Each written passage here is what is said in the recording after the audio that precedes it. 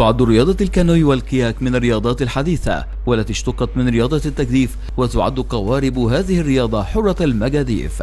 وعرفت اللعبة قديما في الهند ثم انتقلت إلى بريطانيا وانتشرت في العديد من البلدان. وقارب الكانوي هو قارب أجوف ليس له دفة والتجديف فيه يتم بمجداف له كف واحدة عن اليمين أو عن اليسار. ويتخذ اللاعب فيه وضعية شبه الواقف ويبقى المجداف طليقا في يده. ويعود أصل كلمة كانوي لكلمة كينو والتي تعني المركب المصنوع من جذع الشجرة. وهي وسيلة ابتكرها الإنسان منذ آلاف السنين للصيد والتنقل عبر الأنهار ولم يكن هناك شكل محدد أو نموذج متعارف عليه للقارب.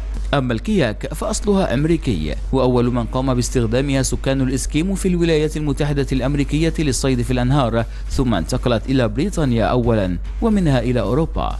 وقارب الكياك هو قارب مغلق من السطح وله فتحة لكل لاعب يجلس فيه دفته ثابتة تحت الماء. أما التجديف فإنه يتم من جهتي القارب بالتناوب.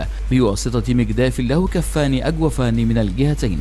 تتم ممارسة لعبتي الكانوي والكياك من خلال الاتحاد المصري للتجديف والذي تأسس عام 1907 ثم انضم الاتحاد المصري للكانوي للاتحاد الدولي للكانوي عام 96 مع إشهار الاتحاد المصري للكانوي في يونيو 2011 وتتعب مسابقة ورياضة الكياك حيث تتضمن مسابقات فردي وزوجي ورباعي كما أن هناك رياضات أخرى مدرجة في الاتحاد مثل ال dragon boat وتعود تسميته نسبة إلى التنين الصيني ويتم التنافس عليه في السباقات.